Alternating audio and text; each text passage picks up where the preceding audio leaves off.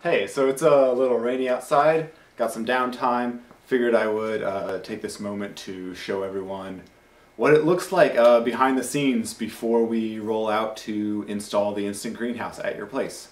Uh, so this is just kind of our material assembly uh, because ultimately there is more than one day's worth of work to be had uh, but we prep it up here so that when we show up to your place it just goes up in a day and we're out of there.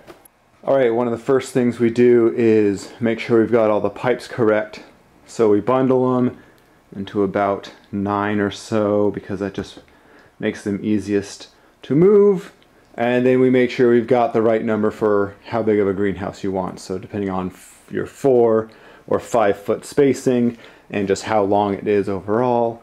We've got one end that's swaged, you know, pinched at that end there.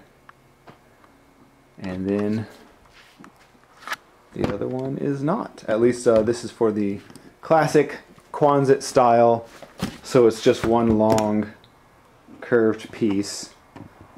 And the ribs themselves are made up of three of these. Here we go, we've got a good roll of greenhouse plastic. This one itself is from Ginegar.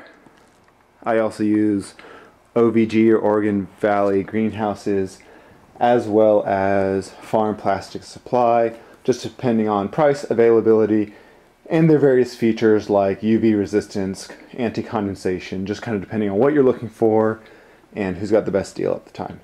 Here we go, just batch together our wiggle wire and wiggle channel, wiggle wild, wiggle wire channels. Uh, just makes it easier to work with and so that we know we've got all the right pieces when we get out in the field. So this is a big part of how things go smoothly and instantly outside is that we, uh, you know, all the work's done here first.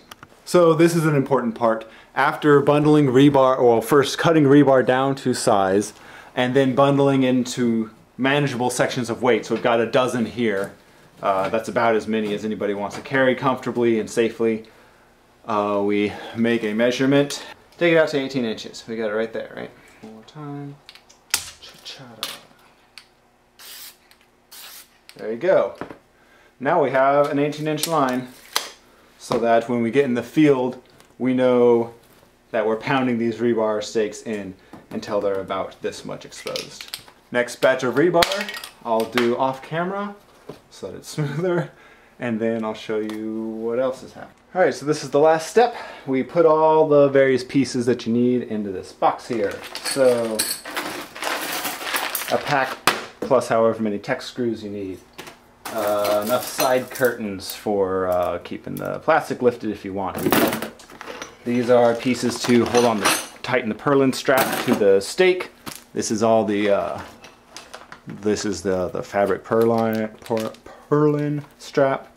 Um, there's a whole giant spool of all the webbing that we will use to hold the plastic tight.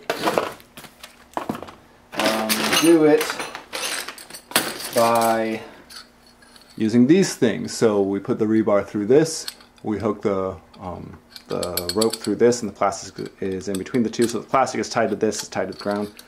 Um, that's one of the last things we do. Count out, make sure you have all the pieces you need, or all that we need to assemble it for you. We make some of the pre-assembly so that it goes quicker on site, you know, putting these two pieces together. Um, what's something else?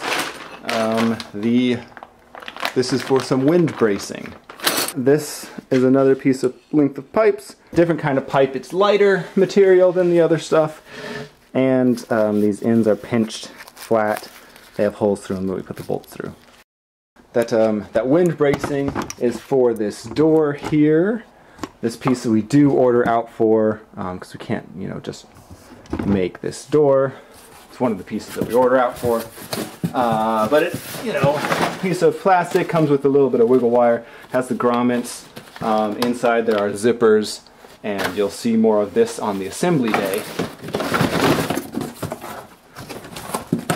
Because, let me tell you, I'm excited for assembly day. It's this Sunday, and I'm looking forward to showing you all how that goes. It's going to be a great example. Um, I'm excited for it, for one, because I'm always excited for this stuff. Uh, I like helping people grow more food where they live. That's always been the goal, and so this is one of the things that really helps that. And then another thing is that this install is kind of a good example of showing a few different pieces. It's a larger version of the Quonset style, and it has two different door types. It has the kind of gather and bunch door type that's cheaper, and then on one of the ends we've got this, uh, you know, this pre-install or prefabricated zipper door. It's nicer, it takes up less space, and it costs more money. So that's just kind of the choice you get to make. This client chose to do one of each, uh, a cheap one on the far side that wasn't going to be used very much, and then the kind of nicer version on the close side. But yeah, uh, that's that. Thanks for joining me on this behind the scenes tour of, you know, materials, assembly, and prep so that uh, we can deliver you an instant greenhouse in one day. See you around.